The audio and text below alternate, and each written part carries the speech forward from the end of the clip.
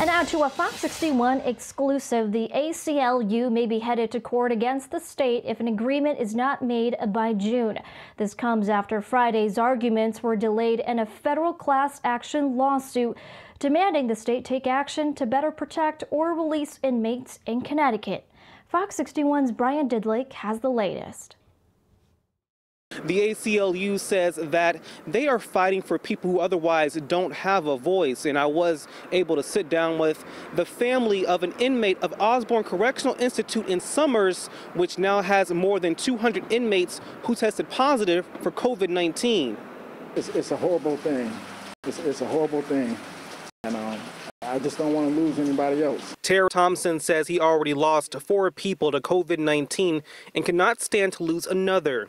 His son, 28-year-old Terrace Thompson Jr., tested positive for coronavirus at Osborn Correctional Institute. Thompson Jr. was sentenced to five years behind bars on charges of robbery with a weapon and assault. While dealing with asthma, his father pleading for his son to be released with his health at risk. Let the kid come home and live. You know, I feel like he did what he needed to do.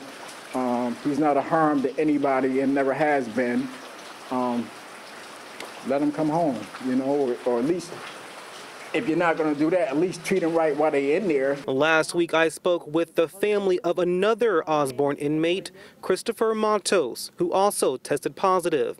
According to family members, Matos and Thompson are roommates at Osborn and joins more than 250 inmates who have tested positive for COVID-19. But if that ratio is really what they're reporting, that is an outrageous and unacceptable number. David McGuire with the ACLU releasing the latest numbers. He says up to 780 inmates have tested positive. The statistics not sitting well with the ACLU. With two lawsuits pending, one is on a state level, the other a federal class action both arguing the safety of those behind bars is just as important. We know every day that goes by, more people will test positive and contract it in the Department of Correction, and ultimately, um, in many cases, not get the medical care they need and die. When Fox 61 reached out to the Department of Corrections for comment and has not heard back at this time.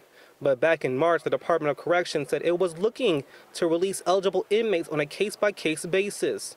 And according to McGuire, at least 1,900 inmates have been released. Really, what you're seeing is fewer people coming in. And what we're asking in the lawsuits is for a number of things.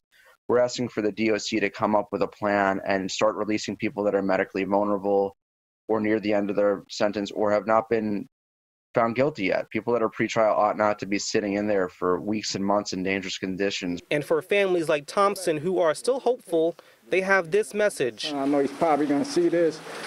You know, I love you and I got you no matter what, no matter what happens, always. I love you.